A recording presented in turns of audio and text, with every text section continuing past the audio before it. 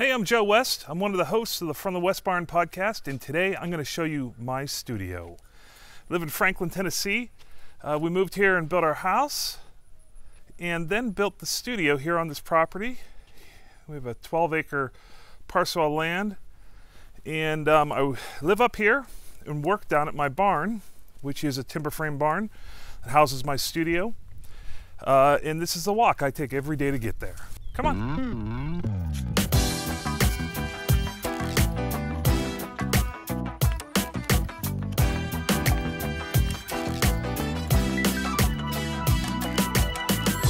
All right, so here we are. This is my barn. It's called the West Barn Studios. It is a timber frame barn that is uh, 10 years old.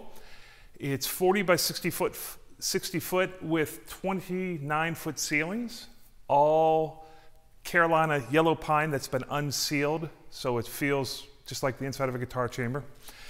Kept an open flow control room. So it's like um, uh, I had worked with Dan Lanois and Malcolm Burn on an Emmylou Harris record. Really enjoyed the open control meaning you work where people record. We have the ISO booths for isolation, and these are fully floated and separated rooms within rooms. The interior ceiling hangs off of spring, so no part of the building touches the other without load uh, diminishing qu qualities like the springs.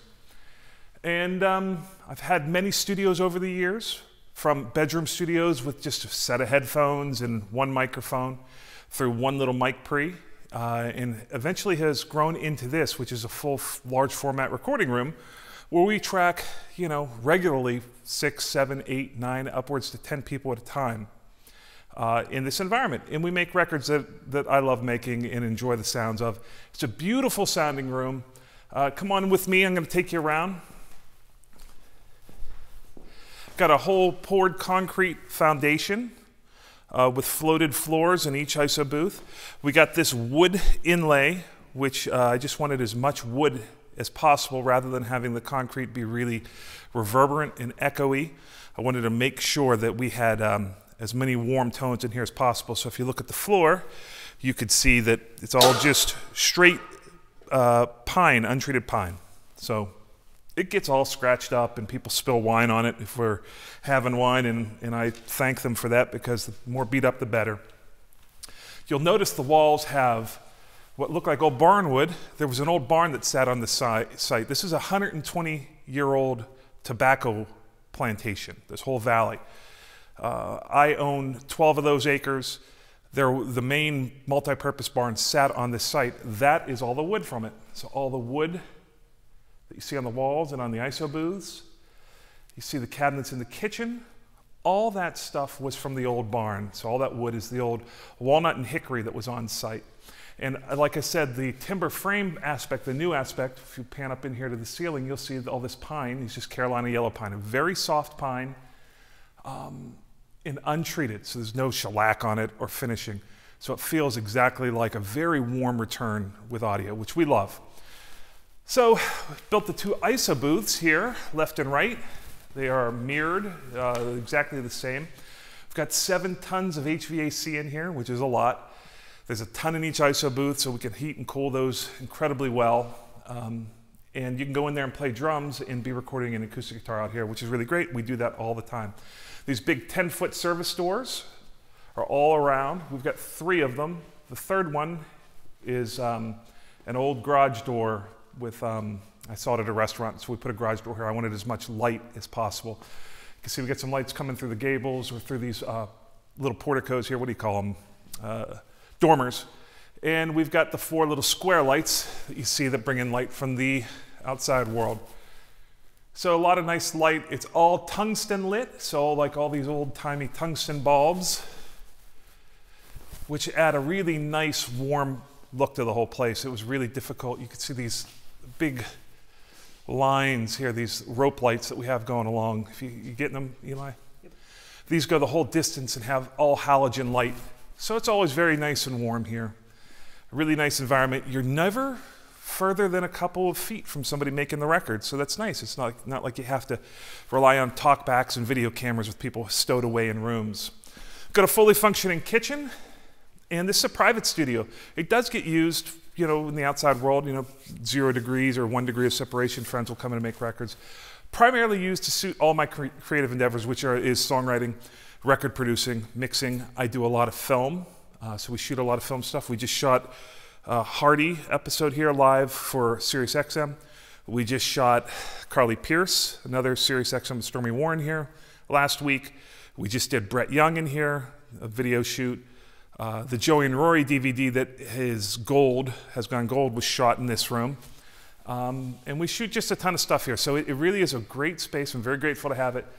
Uh, to be able to shoot stuff that it's like whatever creatively you want to do, this is a great place to be doing it. You look up here, we've got a lighting grid, some of the lights up in the ceiling.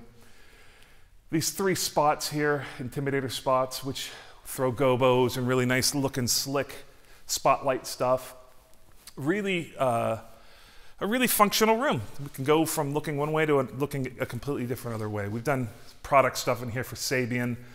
We've done stuff in here. I just shot a radial uh, Pro DI, their new PZ Pro uh, in here. Each one of these spaces has all these. Let me know if you can see this, Eli. Get it. You can get in here and get a shot at it. These are our panels. You see, it actually says Gasoline Studios. At one time, I called it Gasoline. It was my production company. You can see what is that? 12 inputs there, plus a bunch of um, Ethernet for the headphone systems, the Aviom headphone systems we use all the spaces. We have 48 total inputs. 48? We have 48 total wall panels going around the room. This room has a wall panel. They all go through the conduit. When we poured the concrete in here, we ran all those lines. So if you come over here, there's Maxine. If you look down here by this, you'll see them coming up through the floor. So they all come up through the conduit and the concrete and all get wired into my patch bay move my COVID mask. This is my patch bay. You can see all 48 lines coming in from the walls or on the top. Couldn't get a close up of that. All 48 of those lines are just around the room. If you go to a, to a panel in my room and you, you see a 37 on it, that's the only place it shows up. All my mic inputs come in here from the walls.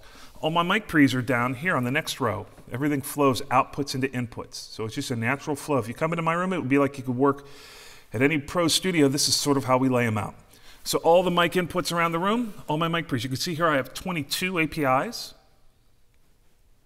There's a um, two Golden Age pre's that I don't use that much. And there's one, this SH stands for Shadow Hills. I got a Shadow Hills over here. So let's take a look. Here's the mic pre's. This is still set up from this Carly Pearce recording we did.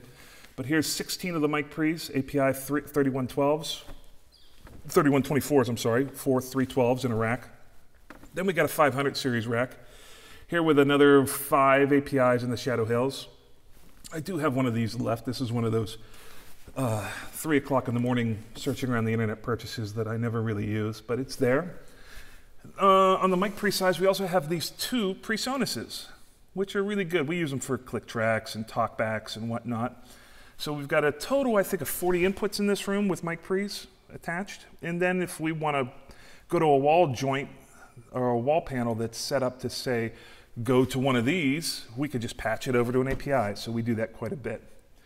Um, I've got the Mackies. These are the, oh, the oldest piece of gear that I have, the longest I've owned anything are these two Mackies.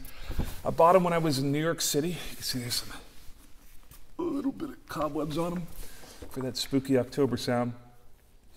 These are the original Mackies. They're fantastic. Um, I've bought multiple sets of these after the fact, trying to get them for my B rig, and haven't been able to get them to buy any that sound the same as these. They have the original drivers that are in the tweeters for these are they were the same sourcing company that, that Genelec used for the 1031As. So they sounded, that's what I was on, Genelec 1031As. I moved to these in 1998 and I have not gone um, away from them. They're the only monitors I, I used to mix on. I know them really well. And um, they've worked. It's, what is that, 1998. So they're 22 years old.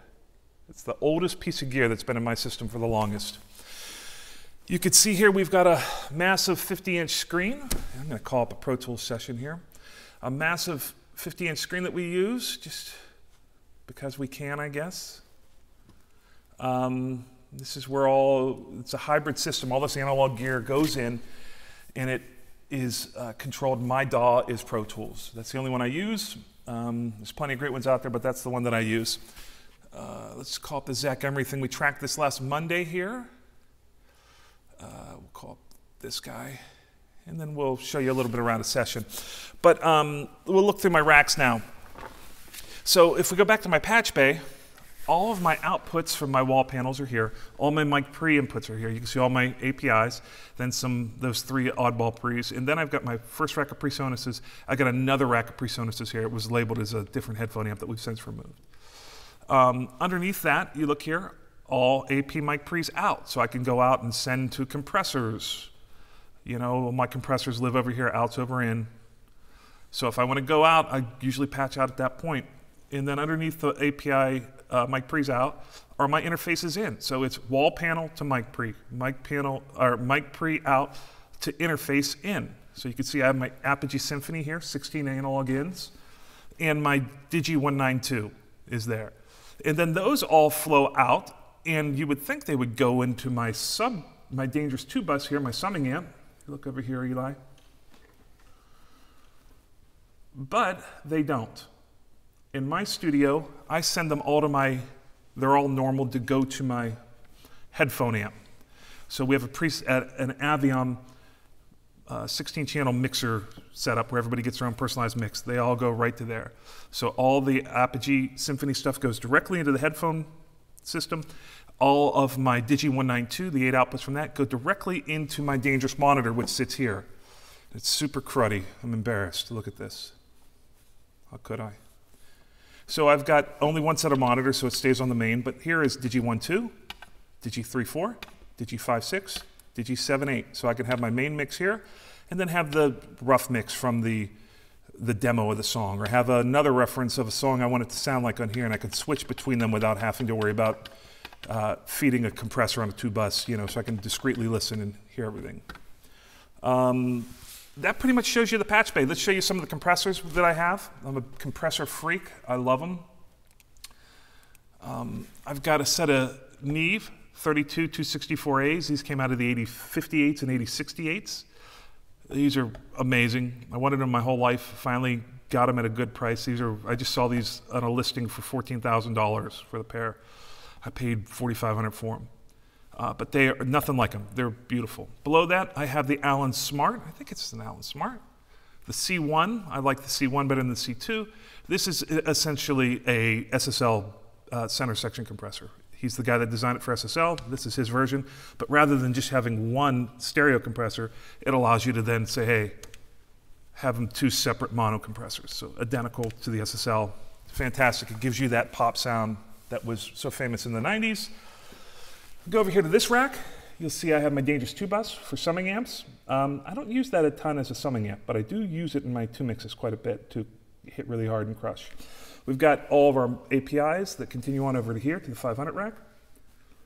Um, all the mic pre's. Then we have these, which are um, sometimes I'll hit my APIs really hard and then use this, which is a uh, the resistors. You know, these are pads.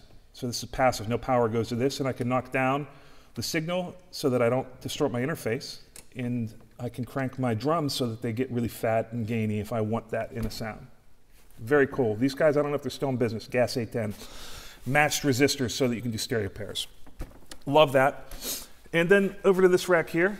This is the rack mount for the, uh, the Dangerous 2 bus, which is our monitor, which was over here. This is the Aviom system. This just separates everything out to those headphones. You can see there's 1 through 16. This is the controller that allows us to decide whether it's stereo or mono on these Aviom boxes, which are killer. Uh, used to be that whenever I was making tracking dates, uh, I spent half my time making the band, you know, doing little nuanced uh, mix revisions to their separate headphone separate headphone feeds. This takes care of all that. They have it on their own. I've had Aviom for 10 years, and it's like I never have anybody bothering me with headphone requests during the session. They're great. They sound great. They're easy to use. Below it are those two racks of mic pre's for the ancillary stuff. I'm also shooting a video right now with Sonor Drums where we're going to be doing uh, a really do the cheapest drum sound. We bought a pack of mics that cost like 199 bucks off of like the deal of the day. We're going to mic up the drum kit with that, and then we're going to have we're going to record them and add up the amount and get like the $386 or the $512 drum sound. Then we're going to do a version where we do it through all world-class microphones and mic pre's and see if we can hear a difference. This is my racked Mac Mini. It lives over here. There's my Pro Tools authorizer. This is my PCIe uh, expansion chassis where my HDX cards live for Pro Tools. And then I have my Apogee Symphony, it's uh, Apogee Symp Symphony, there's the word. Um, great box, I love it. 16 analog ins, 16 um, digital ins and outs, uh, analog and digital in, 32 ins and outs on this. Down below it, I have a Digi 192, and that's what shows up as used mostly for monitoring. Um, so above here you can see some, I know there's some mess, right? I mean, who doesn't clean their studio whenever they're doing a tour of it? But I didn't. There's some coffee from something on top of a hard drive that has stuff that's not backed up on it. I do not recommend that. Pencil sharpener, you need it. People write charts. This is the DMX control for our lighting system. We have wireless lights in here. So this is a, my good friend Earl bought me this as a birthday gift, and it's a Glyph, you know, super fast drive. And then we've got this is another World's Computing, I think it's a four or eight gig drive. We've got 30 gigs of drives around here. This is all it's up right now. This is just a little travel drive, which is actually excellent because you could put SD cards in it when you're traveling if you're a photographer or videographer, and you don't even have to, it's battery operated, creates its own network. You can watch movies on the plane, and I can just pump in an SD card and it will just transfer it, not even connected to a computer. It'll transfer it and back up my cameras on traveling. It's fantastic that's that rack. You can see here I've got a little heater, a bunch of wires, gobbledygoo. That's my Aviom uh, network switch there for all my headphones. Over here, we've got a Manley Variable MU. We did an episode with uh, EveAnna Manley. Um, it's one of my favorite pieces of gear. I also have the Pultec EQ, which is stellar. Um, both of these, they just sound amazing. I can't get rid of them because they just sound too good. This is a clone of a 33609, which essentially is the same exact cards, compressor cards that live in these 32264As. They went into a rack mount version. The 33609 no revision, the 33609A and B are both based off of a 32264 or 2264 circuit. That's what's in here. He was the only guy, Derek Stoddard, uh, had this company. He was the only guy that got licensed by Neve to do a clone. This is it. It's fantastic. Um, once again, we showed you our Pultec here, which is nice. It's the one that has just all the nice bright frequencies and sub frequencies, so you can low end and high end. Essentially, this is it's a great sounding 2BQ. Below it, we have an Orban 424. This is a broadcast limiter. I'm a fan of broadcast limiters because they have such a sound. You put a mix through this, and it will you can get a really unique sound. And that's what I'm using all these compressors for, is to get really unique sounds. Below it, I have a um, RCA. This is a BA, this is a line amp. This used to be in a AM radio station. So this would be their line amp, FET limiter, uh, a FET limiter, I think, let me look here. There's a photo opto compressor and a FET limiter, photo opto compressor, FET limiter. This would have been the uh, outgoing chain to a transmitter. And it's incredible. It's all solid state, but you put some, a bass through this and kill it, and you bring it up on a fader, and you'll be like, I've been looking for that sound my whole life. Underneath, you see I have a couple of lapel mics, wireless units for video shoots. Below that, I bought this for the Jimmy Wayne record, and we did a song with it. With it's a really crappy mic pre, but it made the drums sound like old Beatles, an old Beatles record. I don't know if the song actually got released, but it was incredible. Got this rack for 88 bucks shipped to me and um, it was so flawed that it was such a cool sound. Uh, and we used it for that. This is a bunch of camera gear from this radial shoot we just did. I'm going to push it out of the way without trying to shear off any knobs. These are more radio limiters. Oh. Up at the top, we have these Audimaxes, CBS Audimaxes, radio broadcast limiters. These are meant to drive level. You drive it in and it would maintain your program within a certain scope. So really unique sounding compressors. These were thousands of dollars back in the day. I bought all four for like, I want to say 400 bucks. I don't use them that much because I need to take a little time and get, um, get them wired a little better. Below that, we have two Optimods, Orban Optimods. These are TV, Optimod TV, you see. This is a broadcast limiter. Get in here, they got this little nerdy tweaker for you to do nerdy tweaky things with. All your settings are back here so nobody messes with it. And this would have been what they used as a final broadcast limiter to go out to the tower for a TV signal. If you put a mix through this thing and hit it hard, it sounds like it's an old FM radio, which is like, if you know about old broadcast limiters, that is a magical sound. The lo-fi record was printed through this to a tape machine, which was pretty stellar. This is a mono version. It doesn't get used as much. Up here we have a little Behringer that we've been using for some talkback. During the sessions, the guys all have uh, their own headphone mixes, but they also have their own little talkback system, like push to talk. They have a foot pedal, and when they push it down, it's like a CB. They can talk to each other. You can see here, we got Near, Z, Mark Hill, Jeff Roach, Mike Payne, uh, Jason Roller, who we didn't need to use because he had his own mics in there on the acoustic.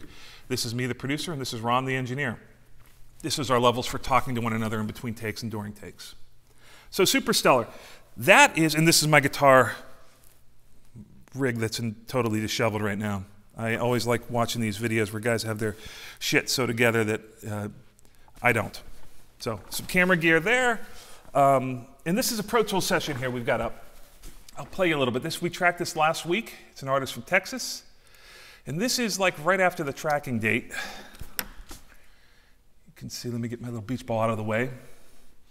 Um, this was right after the tracking. So this is what it sounds like literally right after we tracked it, with me maybe sitting down and clearing out some tracks. Um, I will record it so that we can include the direct audio in the final little video here. I'm going to create a new track in Pro Tools. Stereo audio track. I'm going to send my master to it. I'm going to send it out bus. Let's see what's available. 19 and 20. I'm going to tell this new track that I just created to look at bus 19 and 20. I'm going to send this out to Digi12. We're going to listen to Digi1 and 2 on our little monitor here. I'm going to put on input. I'm going to record. So this is a thing that is, uh, I'll leave the scratch vocal off. I have the fiddle turned off right now because I probably haven't even looked at it. So this is what it sounds like. Uh, literally, guys leave the session. This is what's up on the console. You can see what do we have here.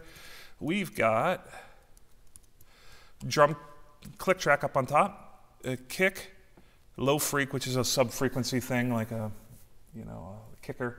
Uh, snare, I have a snare triggered on this, snare delay on this song, snare reverb, hi-hat, overhead left, overhead right, shoulder mic, tom one, tom two, tom, tom three. And we've got uh, room with the Earthworks. Drums are in the small ISO, but then I put the, the drum mics out in the big room and leave the door open. And then a 57 out in that room too. Got a bass DI here, and then a Royer 122 on Mike Payne's electric, uh, an overdub, uh, overdub electric, um, B3 piano, acoustic guitar, high strung, which is the high strings from an acoustic guitar, uh, and the regular acoustic, so the regular low strung acoustic, and then we've got a banjo and a fiddle. The fiddle is not going to be on right now. Let's take a listen.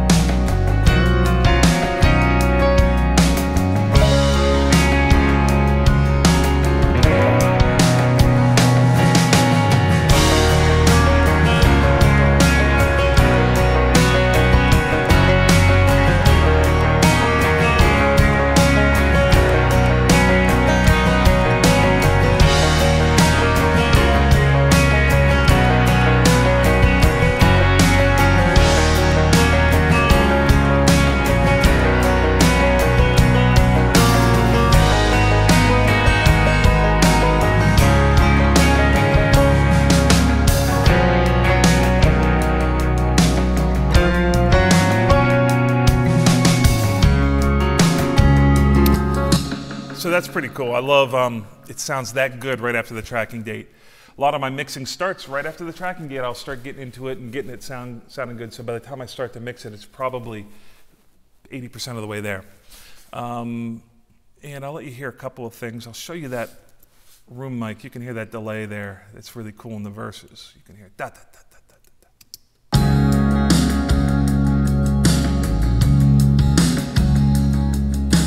Let's listen to this drum kit real quick. I'm going to just solo the drums. I want to just show you the room mic. These are the room mics that live out. I'll turn them all the way down and then I'll bring them up so you can hear how cool the diversity that you can get in a drum kit. It's like totally dry, dry room to bigger Led Zeppelin sound.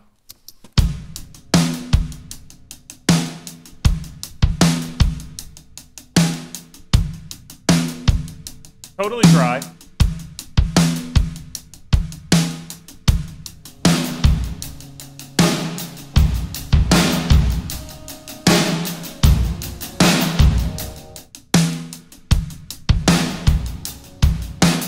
So it's, it's really great. You can just get anything you want out of that drum kit.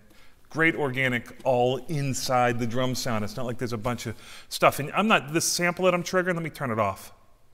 Just so you can hear what it sounds like.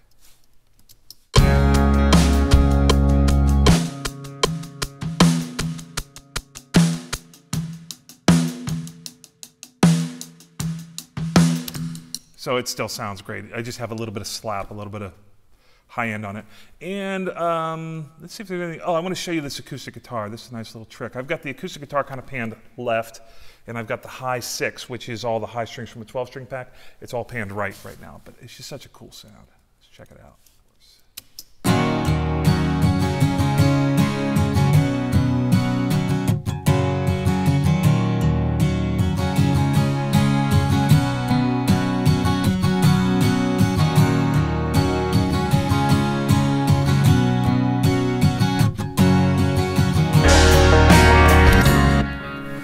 So I just like it because it's essentially a 12 string guitar panned, you know, high over here, low over here. Cool little trick. That's really it. You can see my two bus here. I've got some stuff on it, all staple stuff that stays on most of the stuff I do.